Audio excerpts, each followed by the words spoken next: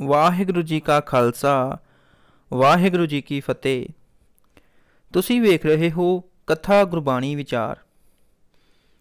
ਸੰਗਤ ਜੀ, ਇਹ ਗੱਲ ਬਿਲਕੁਲ ਸੱਚ ਹੈ ਕਿ ਵਾਹਿਗੁਰੂ ਸਾਡੀ ਹਰੇਕ ਗੱਲ ਸੁਣਦਾ ਹੈ ਸਾਡੀ ਹਰੇਕ ਅਰਦਾਸ ਉਸ ਵਾਹਿਗੁਰੂ ਤੱਕ ਪਹੁੰਚ ਜਾਂਦੀ ਹੈ ਤੇ ਫਿਰ ਵੀ ਆਪਾਂ ਨੂੰ ਉਹ ਨਹੀਂ ਮਿਲਦਾ ਜੋ ਆਪਾਂ ਚਾਹੁੰਦੇ ਹਾਂ।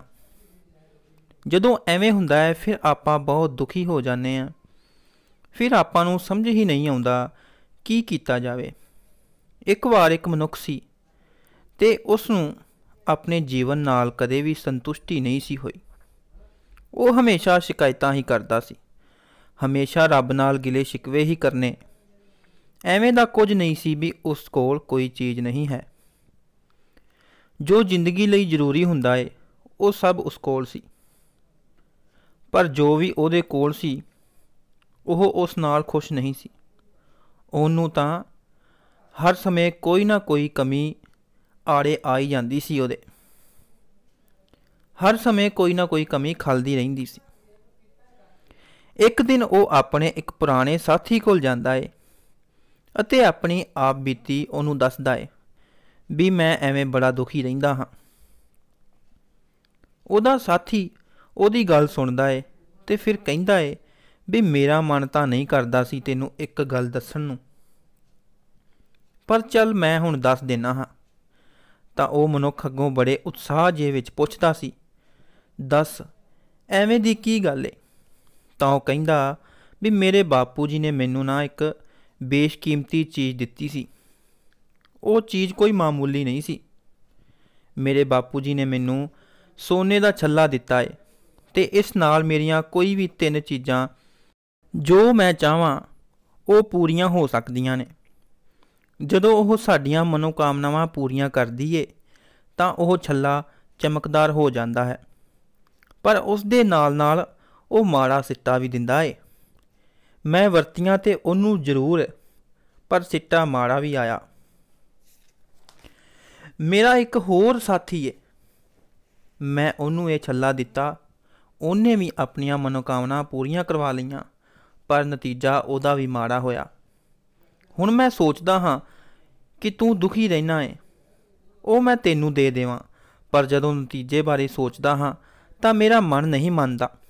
ਤੇ ਅੱਜ ਮੈਂ ਉਹ ਛੱਲੇ ਨੂੰ ਦੂਰ ਵਗਾਉਣ ਚੱਲਿਆ ਹਾਂ। ਕਿ ਉਹ ਕਿਸੇ ਹੋਰ ਦੇ ਹੱਥਾਂ ਵਿੱਚ ਨਾ ਆਵੇ। ਪਰ ਉਹ ਮਨੁੱਖ ਆਪਣੇ ਸਾਥੀ ਨੇ ਜੋ ਵੀ ਗੱਲਾਂ ਕਹੀਆਂ ਸੀ, ਉਸ ਤੇ ਜਮਾ ਵੀ ਭਰੋਸਾ ਨਾ ਹੋਇਆ।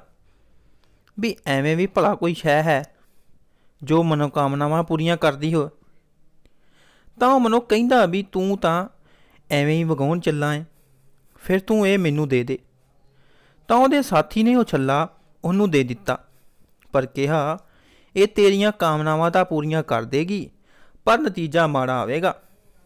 ਉਹ ਫਿਰ ਭੁਗਤਣ ਲਈ ਤਿਆਰ ਨਹੀਂ ਇਹ ਗੱਲ ਜ਼ਰੂਰ ਯਾਦ ਰੱਖੀ।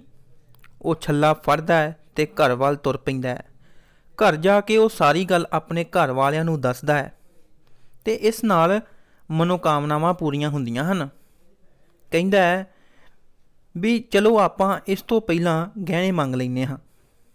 ਉਹਨਾਂ ਨੂੰ ਇਹ ਸੀ ਵੀ ਸਭ ਕੁਝ ਪੈਸੇ ਨਾਲ ਠੀਕ ਹੋ ਜਾਵੇਗਾ। ਤੇ ਫਿਰ ਉਹ ਮਨੁੱਖ ਆਪਣੇ ਘਰਦਿਆਂ ਨੂੰ ਕਹਿੰਦਾ ਹੈ ਵੀ ਇੱਕ ਚੀਜ਼ ਦੱਸਣਾ ਭੁੱਲ ਗਿਆ।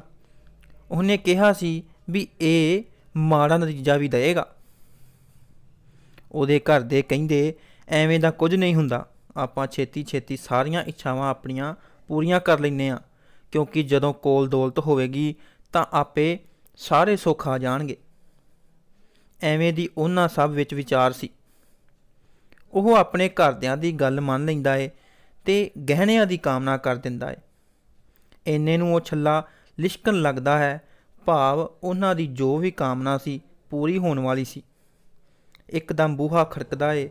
ਉਹ ਜਾ ਕੇ ਬੂਹਾ ਖੋਲਦੇ ਹਨ ਤੇ ਉਹਦਾ ਜੋ ਮੁੰਡਾ ਰਾਜਾ ਦੀ ਸੈਨਾ ਵਿੱਚ ਸੀ, ਉਹ ਲੜਾਈ ਵਿੱਚ ਸ਼ਹੀਦ ਹੋ ਗਿਆ।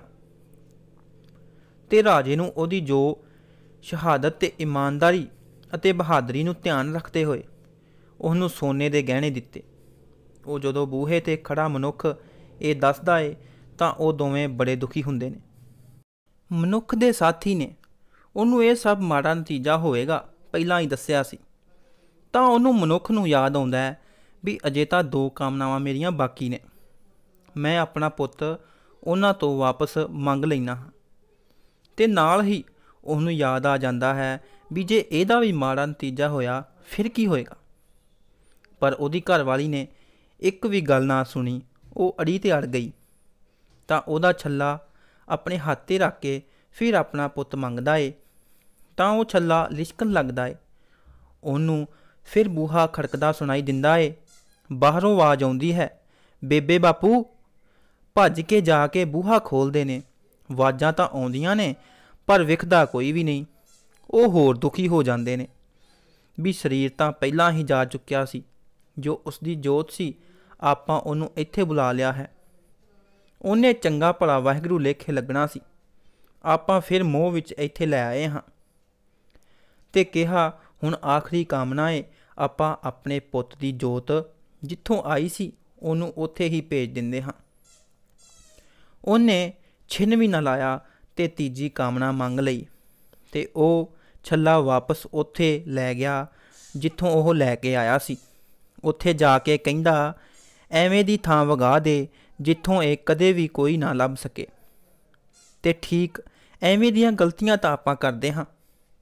ਤੇ ਆਪਾਂ ਵਾਹਿਗੁਰੂ ਤੋਂ ਜ਼ਿਆਦਾ ਖੁਦ ਨੂੰ ਅਕਲ ਤੇ ਸਿਆਣੇ ਮੰਨ ਬੈਨੇ ਹਾਂ।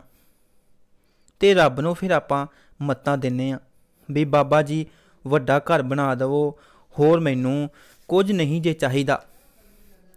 ਜੋ ਚੀਜ਼ ਦੀ ਆਪਾਂ ਨੂੰ ਕਾਮਨਾ ਹੁੰਦੀ ਏ, ਜੇ ਤੇ ਉਹ ਮਿਲ ਜਾਵੇ, ਤਾਂ ਵੀ ਆਪਾਂ ਦੁਖੀ ਰਹਿੰਦੇ ਹਾਂ। ਤੇ ਜੇ ਆਪਾਂ ਨੂੰ ਨਹੀਂ ਮਿਲਦੀ, ਆਪਾਂ ਤਾਂ ਵੀ ਦੁਖੀ ਰਹਿੰਦੇ ਹਾਂ। ਉਹਦੇ ਪਿੱਛੇ ਸਭ ਤੋਂ ਵੱਡਾ ਕਾਰਨ ਪਤਾ ਕੀ ਏ? ਵੀ ਆਪਾਂ ਨੂੰ ਨਹੀਂ ਪਤਾ ਵੀ ਸਾਡੇ ਲਈ ਕੀ ਠੀਕ ਹੈ ਤੇ ਕੀ ਗਲਤ ਹੈ।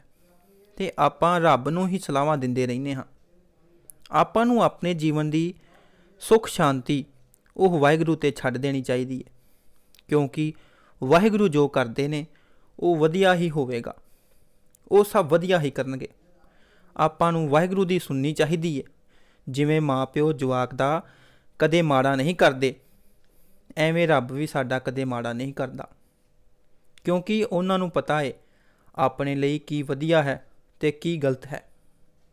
ਜੇ ਆਪਣੀ ਕਾਮਨਾ ਪੂਰੀ ਹੋ ਜਾਂਦੀ ਏ, ਜੋ ਆਪਾਂ ਉਹ ਸੱਚੇ ਪਾਤਸ਼ਾਹ ਤੋਂ ਮੰਗਿਆ ਸੀ, ਤਾਂ ਬਹੁਤ ਵਧੀਆ ਹੈ ਜੇ ਨਹੀਂ ਪੂਰੀ ਹੋਵੇ, ਤਾਂ ਸਮਝੋ ਵਾਹਿਗੁਰੂ ਨੇ ਉਸ ਤੋਂ ਵਧੀਆ ਸਾਡੇ ਲਈ ਕੁਝ ਸੋਚਿਆ ਹੈ ਇਸ ਲਈ ਆਪਣੇ ਜੀਵਨ ਦੀਆਂ ਸਾਰੀਆਂ ਡੋਰਾਂ ਉਹ ਸੱਚੇ ਪਾਤਸ਼ਾਹ ਤੇ ਛੱਡ ਦਿਓ ਅਤੇ ਸਾਰੀਆਂ ਚਿੰਤਾਵਾਂ ਨੂੰ ਛੱਡ ਦਿਓ ਕਿਉਂਕਿ ਵਾਹਿਗੁਰੂ ਜੋ ਕਰੇਗਾ, ਚੰਗਾ ਹੀ ਕਰੇਗਾ, ਮਾੜਾ ਨਹੀਂ ਕਰੇਗਾ। ਸੋ ਸੰਗਤ ਜੀ, ਜੇਕਰ ਤੁਹਾਨੂੰ ਇਹ ਵੀਡੀਓ ਪਸੰਦ ਆਈ ਹੈ ਲਾਈਕ ਅਤੇ ਸ਼ੇਅਰ ਜ਼ਰੂਰ ਕਰਿਓ। ਹੋਰ ਨਵੀਆਂ ਵੀਡੀਓਜ਼ ਦੀ ਅਪਡੇਟ ਲਈ ਚੈਨਲ ਨੂੰ ਸਬਸਕ੍ਰਾਈਬ ਕਰ ਲਵੋ।